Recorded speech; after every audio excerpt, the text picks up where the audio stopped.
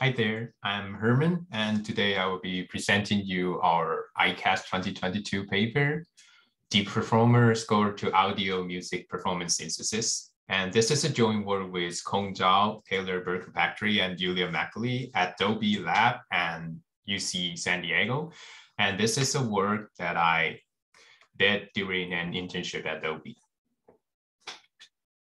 Cool. So um, in this work, we are working on a task called music performance synthesis. To be clear, it, our goal is to synthesize a natural performance from a musical score.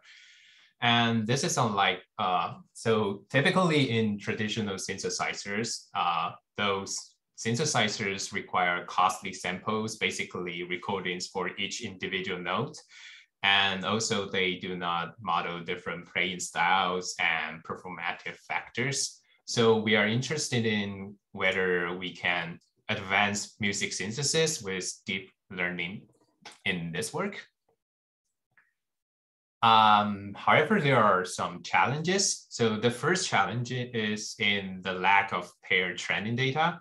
So it is hard to acquire pair data of musical scores and their recordings, even though it's easy to get a bunch of musical scores and it's also easy to get their recordings, but it's hard to get this kind of pair data. And also we need to do additional, uh, we do need to make additional effort to align the scores to all the recordings.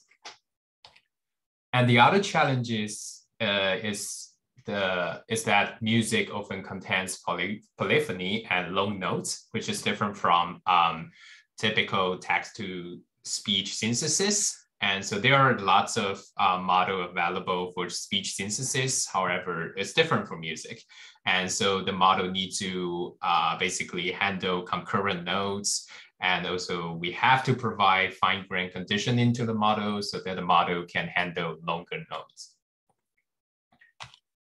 And there are also several prior work on music synthesis and from the very high level, we have the score and we will generate expressive timing for the score. And we will also have F0 curve and loudness curves.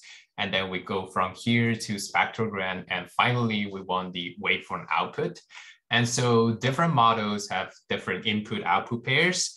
And so ours are working on score to waveform generation. And there's also a parallel work called MIDI DDSP working on similar uh, task. And here's an here's a comparison with different prior work. So we are uh, the only one that uh, supports uh, line inputs and we also support poly polyphonic inputs, and we are working on real recordings rather than uh, syn synthetic recordings.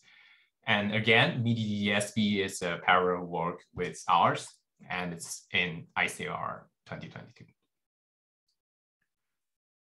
Okay, so next I will talk about the model that we propose.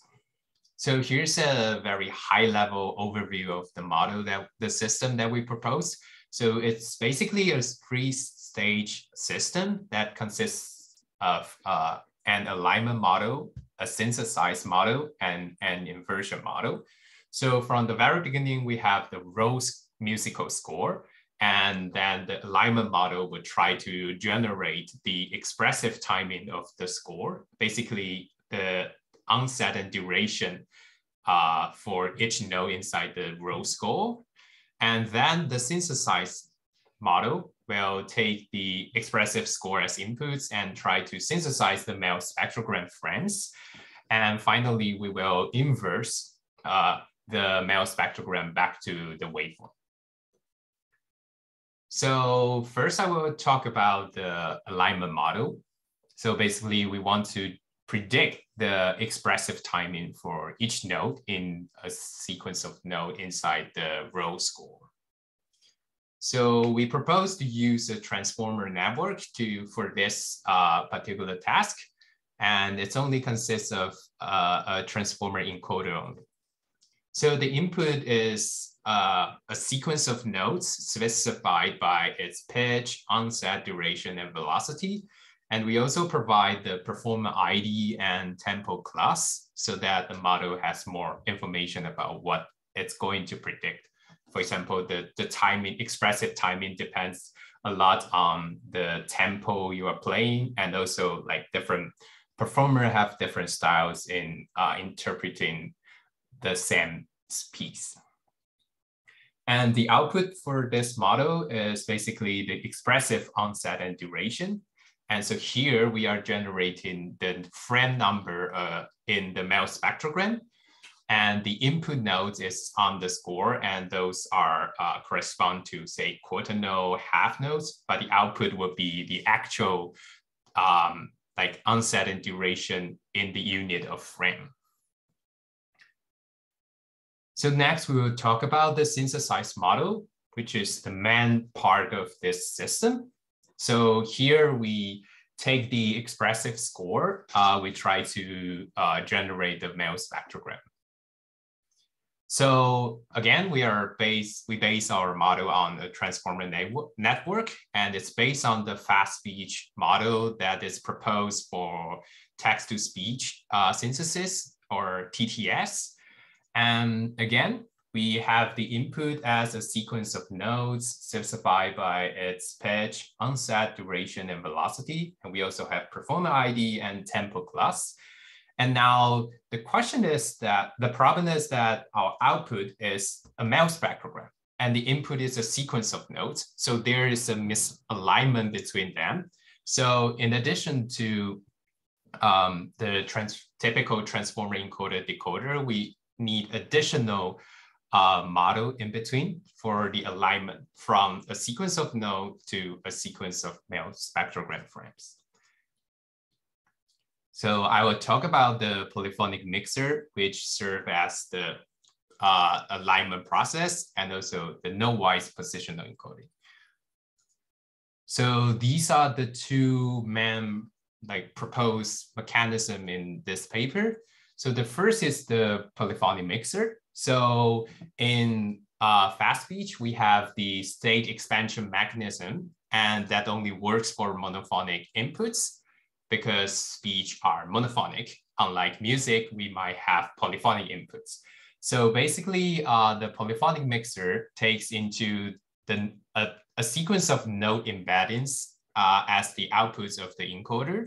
And since we have the onset and durations produced by the alignment model, uh, we can take this information and try to uh, mix, basically mix up the note embedding at each time step to get the, uh, the frame embedding output for the decoder.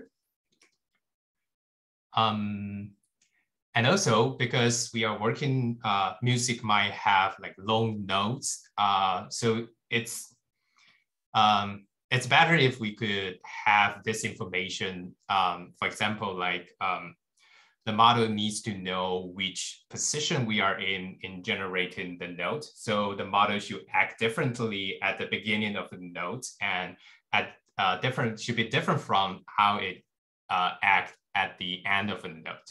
So with this new note-wise positioning encoding, basically we can provide positional information within each note so that the model has a fine-grained conditioning on which part of the note that we are currently working on.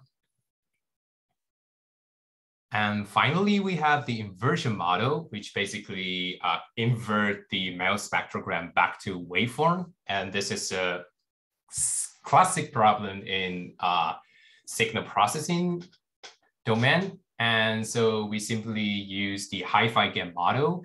Um, uh, it, it's based on generated adversarial networks and it worked quite well on this uh, MEL spectrogram inversion problem. So we just use it uh, as it is.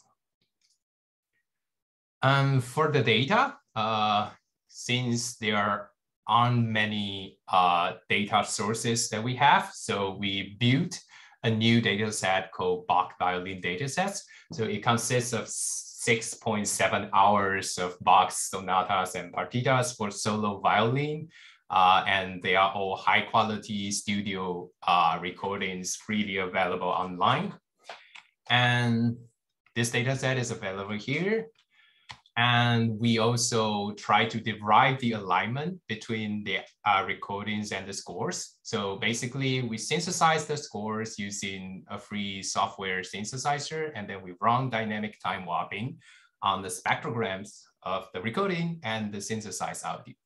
And so the alignment result, as you can see here, is really nice. And we also open source the code uh, at this address. Now, uh, we have some experiments and our results. So here's some implementation details of our model. So I won't go into detail, but uh, we are working on mono uh, 16K hertz audio. And yeah. And so here's some demo of our model. So first we'll listen to the violin, uh, synthesized violin. So at the bottom, we have the input score, and at top, we have the mel spectrogram. So let's listen to it.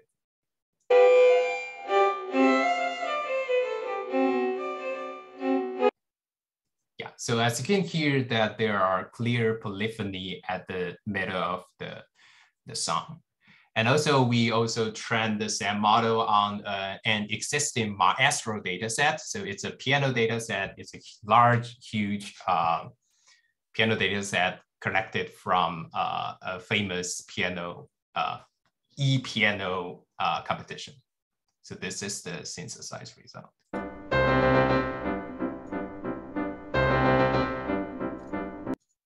Yeah, so as you can hear that uh, there are clear, um, you know, polyphon polyphony structure and also the harmonic structure. And we also compare our performance to a baseline. Uh, it's a HiFi-GAN baseline, uh, which we just simply condition the HiFi-GAN model with piano roll input. So this will be ours.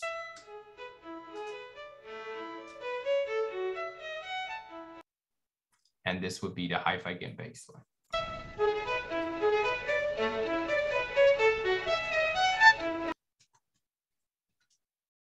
And also we have an evaluation study uh, to see how effective is the note-wise positional encoding. And as we can observe in this comparison that um, we can see clear, uh, much better um, pitch contour when we enable note-wise positional encoding and the note boundaries between uh, the two uh, adjacent notes are clearer when we enable note-wise positional encoding. So most samples are available on our demo website here. And finally, we have a subjective listening test where um, we can see on the violin data set, uh, our proposed model uh, achieve uh, comparative uh, performance to the HiFi-GAN baseline. And on the piano data set, uh, we are significantly uh, outperforming the baseline. So there are some future work that we would like to work on. So the first is that we want to model expressions like dynamic, tempo, phrasing, articulation available on the scores. And we also want to model different playing styles. So currently we are using Performer ID, but uh, we could, for example, uh, try to build a um, latent variable model to handle the different playing styles. We also see that like the HiFi-GAN model, uh, HiFi-GAN baseline are able to um, generate very uh, sharp uh, synthesized audio. So we would like to incorporate adversarial losses to improve the sharpness of the synthesized audio. And there are some promising results in speech synthesis. So we might want to uh, go toward that direction. So to conclude, uh, we've presented a new three-stage system for music performance synthesis, and we propose two mechanisms for a transformer model so that the model can handle polyphonic inputs and we also provide a fine grain conditioning for handling longer notes. and we show the effectiveness of the proposed deep performance model that we outperforms the baseline model on the piano dataset, and we achieve competitive quality on the violin dataset.